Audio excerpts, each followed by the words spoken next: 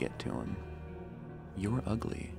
He goes pale with anger and mutters something in response. Or maybe we'll be a little less direct. I'm just wondering whose clone you are. Surely you can't be one of us. It takes him a moment, but he eventually gets it. He reddens and mutters under his breath. It definitely doesn't sound friendly. I realize we seem to be easily provoked, and causing a scene might just be my way out. I pull my legs off the platform to do just that when I catch something about to fall off. It's the holopad Turgis F07 has left by my side. Maybe there's some information in there that would help me cheat my way through the test instead. What should I do? I can provoke a fight as distraction, or I could look for more information to cheat on the test. No time to investigate. I put the holopad down on the platform, hop off, and throw myself at the neighbor, screaming, What did you just say to me? He is taken aback by my sudden outburst, and I land a beautiful first slap. That almost throws him off the platform. I try to shove him onto the ground. He grabs me by the head, which is surprisingly effective, and we both fall to the floor with a crash. We start swiping at each other with our eyes closed, grimacing and trying to protect our face from the blows. The other clones are coming around us and are chanting, Fight, fight, fight. Others are saying things like, Punch his ugly face, and Show him who's got the best genes. We are not hurting each other much, but it gets tiring quickly. Thankfully, the lab technicians arrive and separate us. We're both panting and sweaty, which is unpleasant to me, but seems to be absolutely awful for the other guy. I win this round. That's enough, you two. You're going to mess up your pretty faces. Who will even look at you after that? Huh? What are you even fighting for? This is do or die. My opponent looks defiantly around and spits out. He was looking funny at one of his betters. I told him to back off. He called me a substrate. I clearly have the better genes. The lab technician in charge looks at Turgis F07 and snickers. Sort these idiots out. I'm going to let indoctrination know we've got a feisty bunch. He leaves the room. Turgis F07 sighs and pinches the bridge of his nose. okay, everyone line up against that wall. We'll do a quick assessment and you'll be on your way. You two idiots sit in the idiot corner over here until we're done. You're clearly functioning and you seem to have the exact amount of jealousy that you need. You should probably be tested for stupidity down the line. I'm sure you'll make a great first impression in indoctrination. My opponent seems annoyed. I'm doing my best to mimic his expression, but I'm secretly relieved. We passed the test. I sit in silence, my blood pumping in my ears, waiting until the testing is done, and we're called away. Sometime later, the assistant comes back. I go for the subtle approach. I sit back down and put the holopad in my lap. There are numbers of tabs open medical procedures, inventories, the news. There's a tab that seems to be a serial called Forbidden Love. I press the button in front of the image and the show resumes. The sound is off, subtitles are on. I can only guess that Turgis F07 is not as studious as he appears. The show is taking place in a richly decorated room with draperies hanging off the walls, pieces of ornate furniture, elongated vases, and tall chalices. Everywhere, portraits, statues, 3D holograms representing me, well, the me who's in charge. We seem really into ourselves, and right on cue, there's another me on screen. He is arguing about something with somebody we can't see. Two other Horatios come into view, one dressed as a soldier, the other in civilian clothes. The soldier is demanding a rebellion on a distant colony be met with force, while the civilian is offering a more measured approach, presenting it as magnanimous. The argument goes back and forth for a bit, with the main me, whom they call Prime, eventually making the call. He'll be magnanimous and offer the rebels a chance to redeem themselves. The soldier stomps off while the other guy sticks around and shuffles closer to him. They share a quick embrace before he slinks off. I fast forward a bit. The soldier comes back in the next scene in some sort of parlor. Prime and him exchange some oblique remarks, and it becomes clear that in the shadows, things are going to get pretty bad for the rebels anyway. So that's the way things are done around here? Okay. And then the soldier tears off his uniform, revealing a perfectly smooth chest. The two exchange a smoldering look meet with passion, and they fall to the ground. Oh, I hear footsteps approaching, and I swiftly put the tablet back down. Turgis F07 is coming my way. I rest my hands on the platform and do my best to look detached. I'm ready to play the part. Right. He picks up the tablet, swipes through it, then looks up at me. Right. Okay. I'll ask you a couple of questions, just making sure everything's fine. Let's get over this, pal. I've got places to be. Uh, settle down, please. This'll only take a moment. Looks like your motor controls are working fine. Let's take that box and move on to the memory test. I'll make it short. What is the name of the first and foremost, our God, creator, and benevolent leader? I could say Horatio Prime. I could try to be funny and say the big forehead in the sky. Or I can try to suck up to the elites, the man of my dreams. Let's go for the more general approach. Horatio Prime. Turgis F07 looks at me and nods in approval.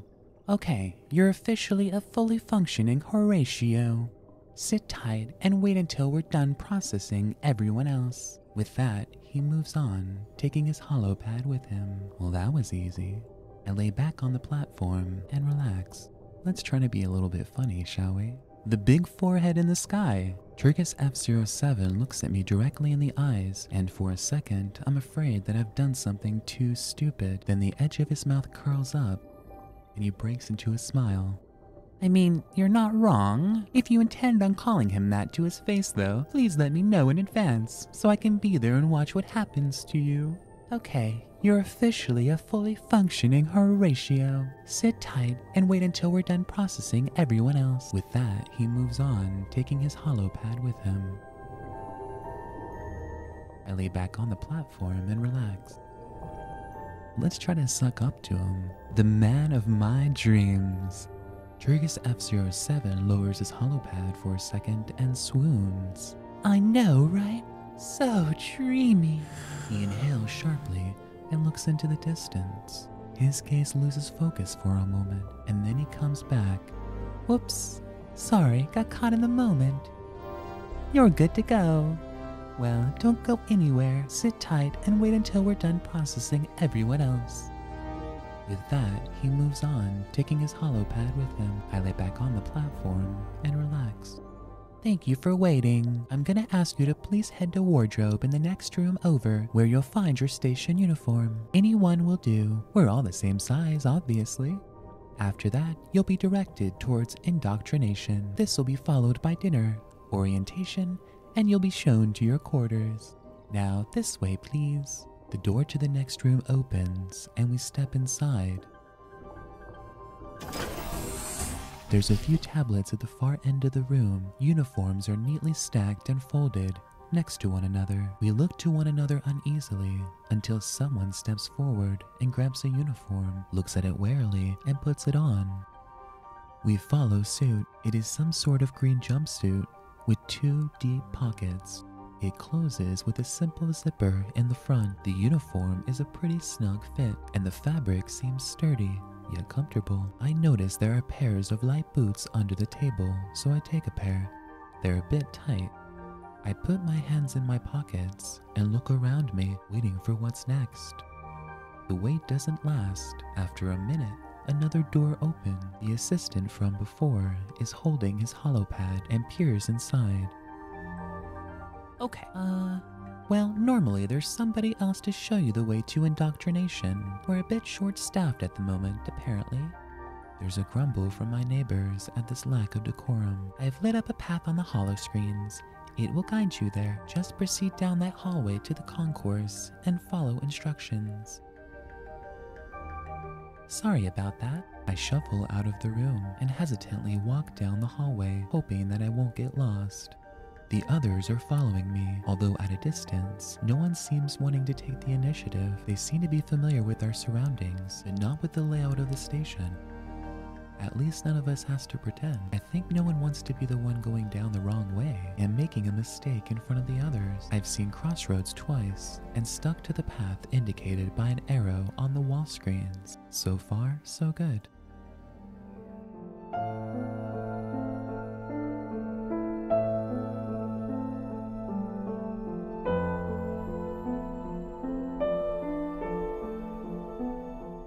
Keep walking, the others follow. Eventually, I hear a murmur in the distance, which grows to a distinct noise as I draw nearer. I see some bright lights in the distance and a much more colorful environment. I step out onto a plaza, a cathedral of green and gold. There are columns and glass everywhere, with manicured trees and shrubs in every corner, and overhead, an immense glass canopy. This must be the concourse. There are lots of other people here, all wearing the same jumpsuits as we are. Probably fresh new clones, just like us. Even my jaded brethren around me are all murmuring amongst themselves in tones of wonder and amazement, as if talking out loud might make the wonders fade away. This way, please. The voice cuts through the noise effortlessly, and in a moment, the conversations go quiet. A Horatio has appeared on an immense hollow screen, inviting us to move along. There are more hollow projections in the hallways leading to, what was it? Indoctrination?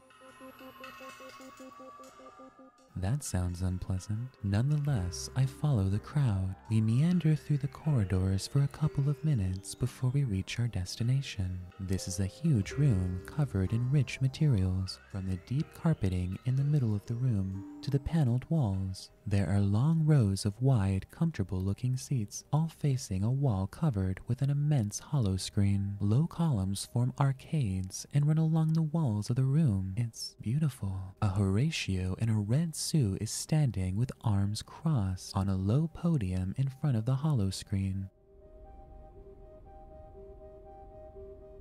He has a look of studied annoyance on his face. Once all of us are inside the room, he speaks up. May I have your attention, please? The crowd falls silent. His voice carries across the room, and even from somewhere near the entrance, I can easily hear him. Please take a seat. Go all the way through the row. Don't just hog the center seats. You'll hear me just fine from the sides as well. There's a bit of a rush forward from the new clones to do exactly the opposite of that. Soon enough, a cluster of Horatio are sitting in the prime seats and preventing the rest of the file from moving along. Oh, for his sake.